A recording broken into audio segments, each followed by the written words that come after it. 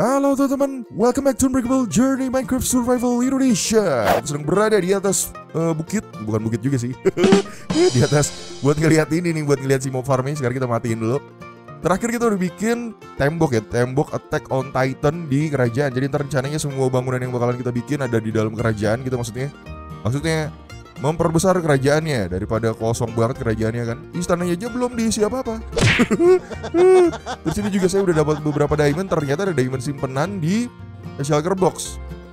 Ya ini kan sisa tinggal 5 gara-gara udah saya bikin helmet terus bikin celana sama bikin sepatu ya. Sama pedang jadi ya abis tinggal sisa 5 belum bikin kapaknya belum bikin apa ya. Yang penting itu aja dulu ya. Ini juga belum di enchant baru kita enchant bareng-bareng mungkin ya. Sip ntar juga saya belum ini belum apa namanya belum nambang lagi. Mungkin ntar baru nambang lagi. Karena kita bakalan uh, ngerjain project maksudnya ngebenerin bangunan-bangunan yang esensial dulu ya. Maksudnya bangunan yang uh, kita perlukan kayak misalnya iron farm terus uh, apa namanya villager trading post. Nah kayak gitu-gitu ntar kita benerin dulu. Dan ini hasil dari temboknya tembok takun titan. Yoi Jadi sebenarnya cuma ditambahin di tengahnya ditambahin stone brick doang. Terus bagian atasnya itu eh, ditambahin. Aduh ini lupa saya hancurin lagi tar dulu ya. Ini bekas habis ngambil thumbnail. Aduh ini mesti dihancurin dulu. Soalnya biasanya kan saya ngambil thumbnail pakai replay mode ya. Jadi replay mode kan ada ada fitur buat ngambil gambarnya gitu kan. Cuman kan kalau misalnya kita udah masuk ke gamenya pakai Optifine berarti mesti keluar lagi mesti masuk pakai Fabric gitu kan buat yang replay mode yang baru tuh makanya daripada keluar masuk keluar masuk. Lah ngambil aja di situ langsung. Oke di sini ada lama yang kehilangan arah. Jadi tembok kayak begini lumayan kelihatannya kayak tinggi gitu kan. Yoi temboknya udah jadi. Terus bagian atasnya dikasih chisel sama dikasih si lantern. Jadi sebenarnya simpel aja. Ini lah dia cara bikin tembok yang super males kayak begini. Jadi cuma kayak gini doang lah. Ya, yang penting udah ada temboknya ntar baru kita bikin bangunan di dalamnya. Sekarang kita ngerapin bangunan esensial dulu ya. Oh ya di bagian bawahnya kalau kalian lihat itu sebenarnya masih berantakan banget. Gara-gara saya males ngeberesin ini mungkin ntar ya. Itu bagian bawahnya tuh kan. Masih bolong-bolong tidak teratur. Ini yang bakalan kita beresin. Saya nggak ngerti nih kenapa mereka udah ada jobnya mungkin ya. Ya maksudnya udah ada jobnya tapi nggak ada ininya nggak ada elektronnya nah ini satu sih Zabuza udah saya kasih elektron cuman nggak ngisi-ngisi lagi barangnya. Berarti kayaknya mesti dikasih tempat tidur ya Mungkin nanti itu baru diberesin, cuman kita nggak beresin ini dulu nih. Ini bener-bener salah nih.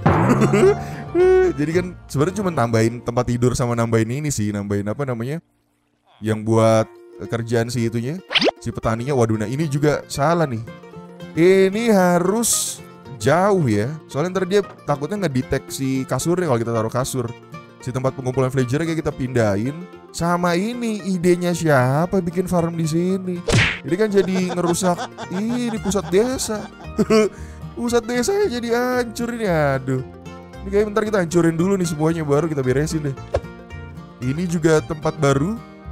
Jadi ini sebenarnya buat mindahin si uh, yang hasil AFK-nya jadi dipindahin. Sih sebenarnya ini dari episode kemarin cuma saya lupa ngasih tahu Gak tau deh di episode sebelumnya saya udah ngasih tau apa belum ya?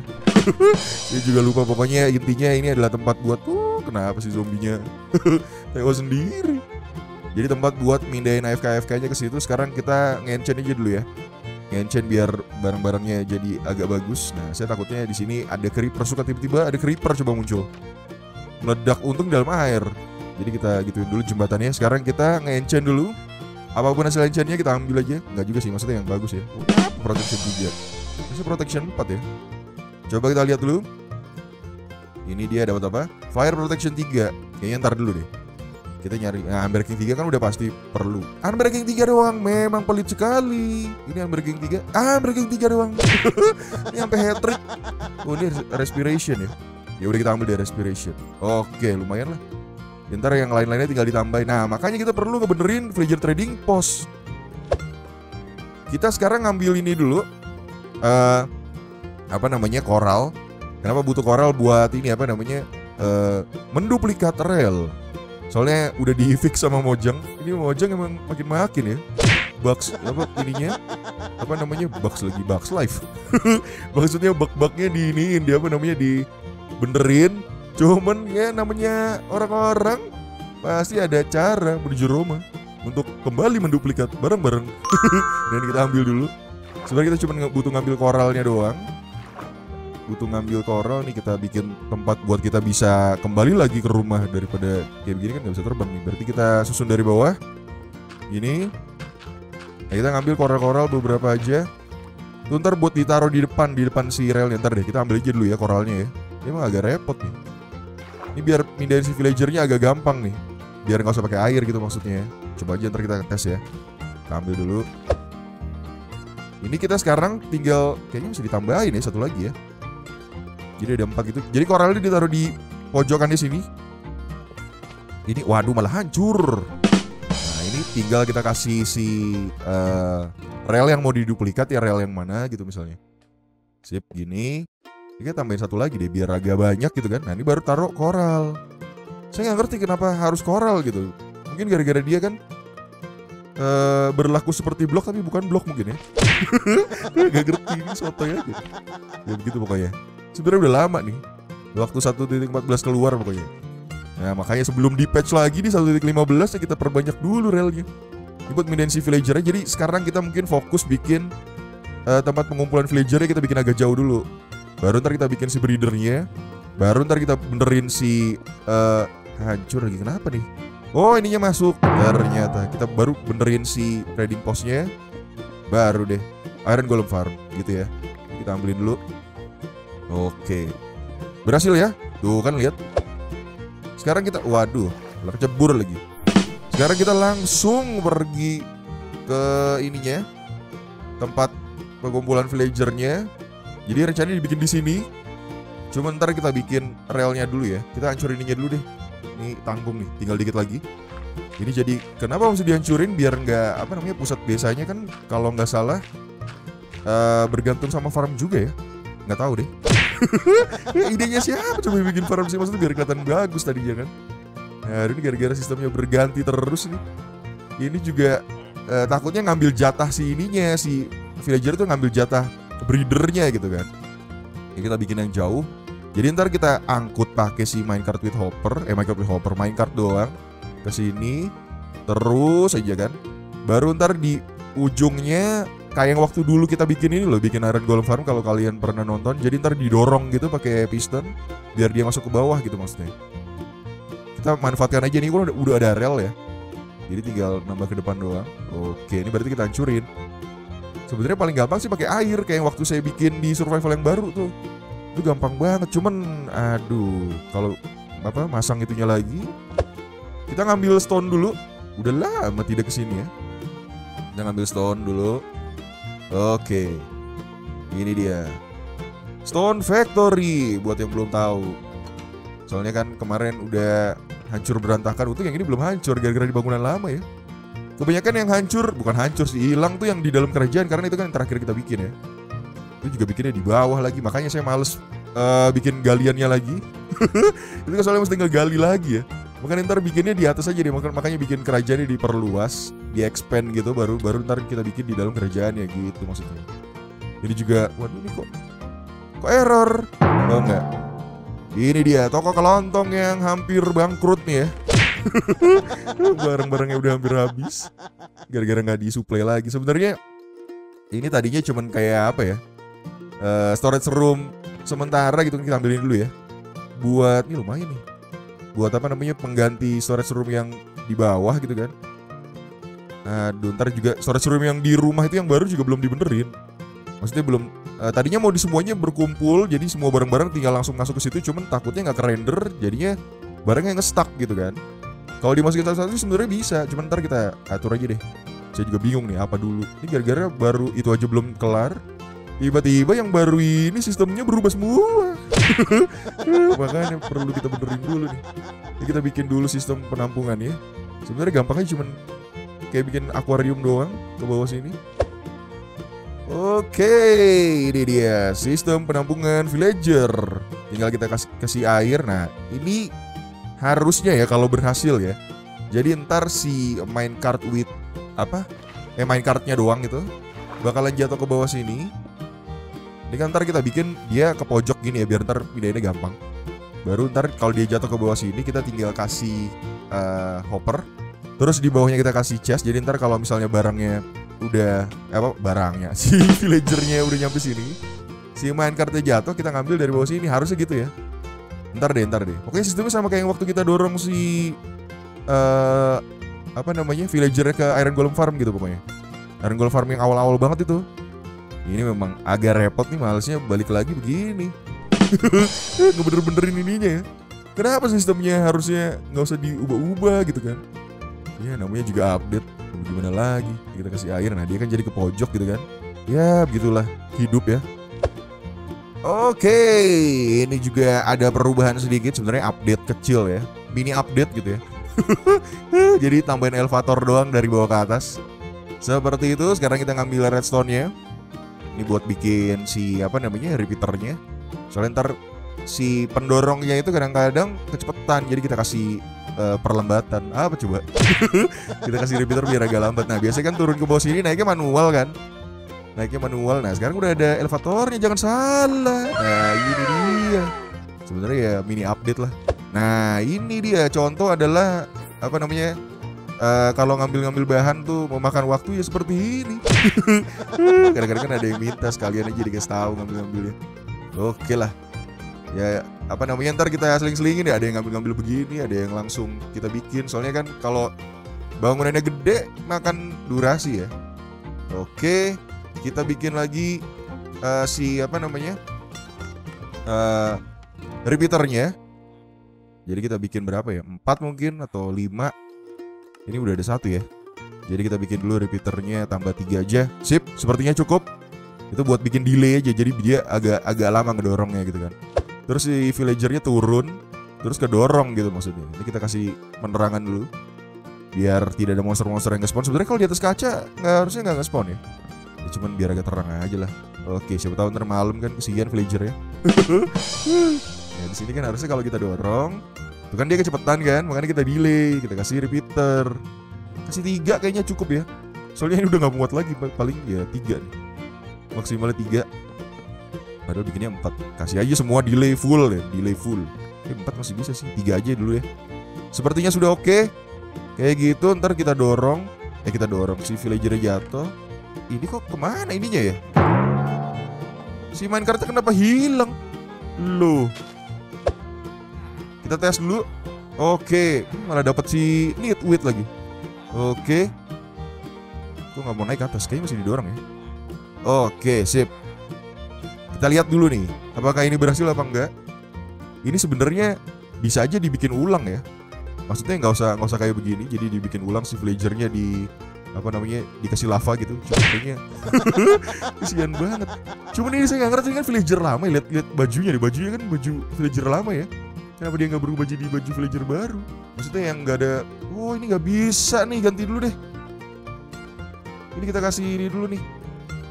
Oke, kita kasih power karena ternyata pakai detektor rel tidak bisa dia naik. Jadi mesti didorong dikit. Wah. Eh, Oke kita kasih power aja dulu ya. Berarti dari sini, ini berarti kita hancurin dulu nih kita ganti pakai power rel lagi. ini namanya ngetes ngetes kayak begini nih. Agak makin makin memang. Kayak gini sip. Eh eh. Nah sip. Oke. Lah! Lu ada suaranya tapi tidak ada orangnya. Ke mana coba? Kok hilang ya? Waduh ini magic malah lah ke mana coba oke kenapa tidak mau naik sip oke Ternyata emang suka error kadang-kadang ya. Jadi mesti kita mesti keluar masuk keluar masuk dulu emang agak bikin rugi. Ternyata begitu. Mesti keluar masuk baru ntar dia muncul. Aduh, kayaknya nggak nggak kerender apa bagaimana sih juga bingung. Sip, kita lihat dulu. Nah biasanya harusnya berhasil nih. Kita lihat dulu. Sip. Nah, kedorong masuk. Tapi kenapa sih main kartnya tidak ada? Loh. Minecartnya jatuh ke bawah apa enggak ya? Kenapa ngilang coba? Aduh minecraftnya kenapa tidak ada? Nggak ada tanda-tanda menghilang. Apa dia hancur ya kena si kaktusnya ya? Aduh ngambilin minecraft dari sini nih. Nah kalau udah habis baru kita bikin. Sisa berapa lagi nih? Ya udah kita langsung aja tes lagi ya. Berarti mesti di manual gini. Nah makanya villager tuh agak-agak sulit untuk dipindahkan begini. Makanya saya uh, selalu malas untuk berurusan sama villager. Karena nggak bisa di harusnya bisa diangkat tuh ada kayak kayak di RL Craft gitu ya mod yang bisa diangkat gitu kan. Itu mantap itu. Jadi bikin cepet gitu kan. Kalau kan dikasih ini aja dikasih lead. Sian juga ya. Kayak apa coba jadi. Oke. Kita lihat lagi. Sip. Nah, dia kedorong. Lagi-lagi main kartnya hilang.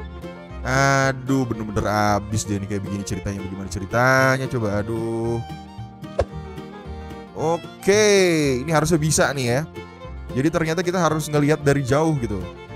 Jadi nggak boleh lihat dari dekat biar kayaknya uh, entah nggak ke render apa bagaimana gitu. Jadi kalau kita lihat dari atas pohon, si minecartnya itu kelihatan uh, jatuh di, de di depan kaktusnya.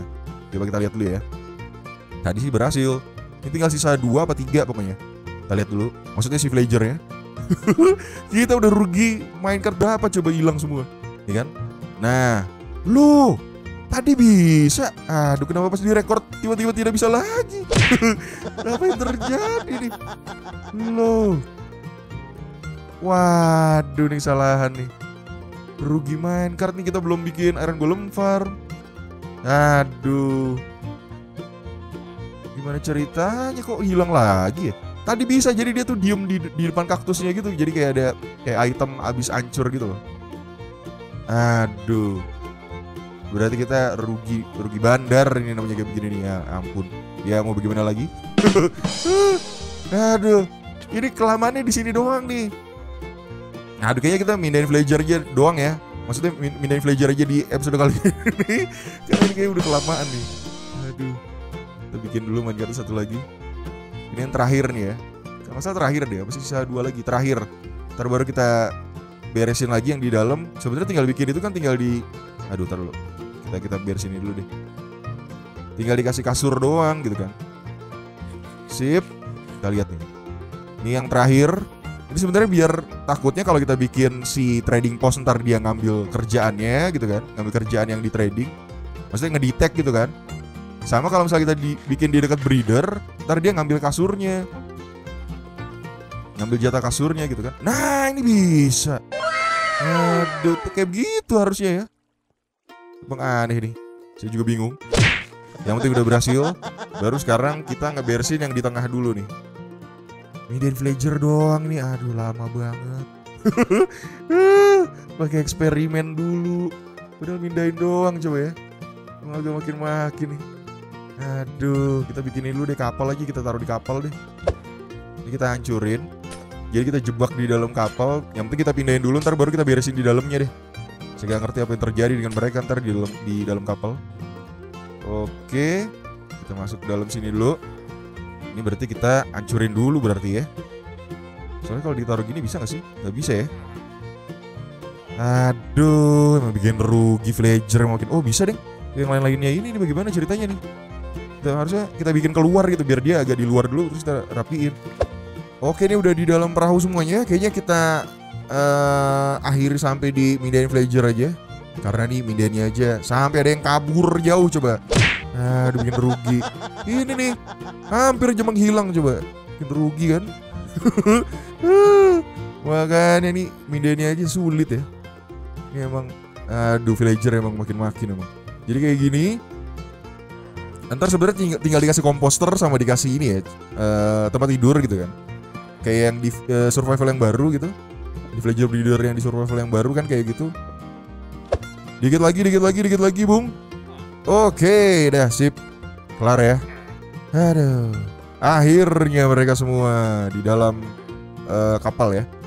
Oke, berarti ntar tinggal dikasih komposter sama dikasih bed. Oh iya satu lagi yang di sini yang di dalam sini. Ya ampun, ini kesian banget nih villager ini. villager paling berjasa karena dia adalah pusat desanya kan. Untuk uh, ini ya sistem villager breeder yang lama. Aduh, berarti mesti kita pindahin dulu nih. Kita angkat dia kesian nih. Paling berjasa. Sebenarnya bisa dikasih lava doang gitu langsung. Jahat banget dia udah udah berjasa kita angkat aja keluar. Aduh. Jadi kayak gini, oke, berarti mesti dihancurin.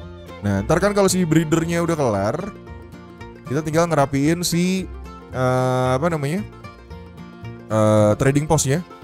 Jadi ntar gampang kalau misalnya mau ini ya, mau trading-trading. Oh, namanya Sasuke Uchiha ternyata. Siapa yang kasih nama? Ya saya. Siapa nama Sasuke Uchiha dikucilkan dari peradaban. Oke, naik-naik bos. Bos Sasuke. Kita biarin dia naik dulu. Nah, baru kita masukin ke dalam boot. Oke, ini apa lagi yang mental? Sip. Nah, kan. Oke. Udah, ini tinggal kita tutupin aja lagi. Oke, satu lagi. Sip. Oke, kayaknya kita sudahi dulu sampai di sini untuk episode kali ini. Ntar baru tinggal saya kasih bed sama eh, kasih komposter, baru ntar kita ngerjain yang lain lagi. Ini gara-gara udah lama nih cuma mindahin villager doang sebenarnya. Tapi lumayan menguras emosi jiwa. Aduh. Oke lah. Ntar baru kita lanjutin bikin yang lain. Terima kasih menyaksikan. Jangan lupa untuk like, share, dan juga eh, komen. So, and bye.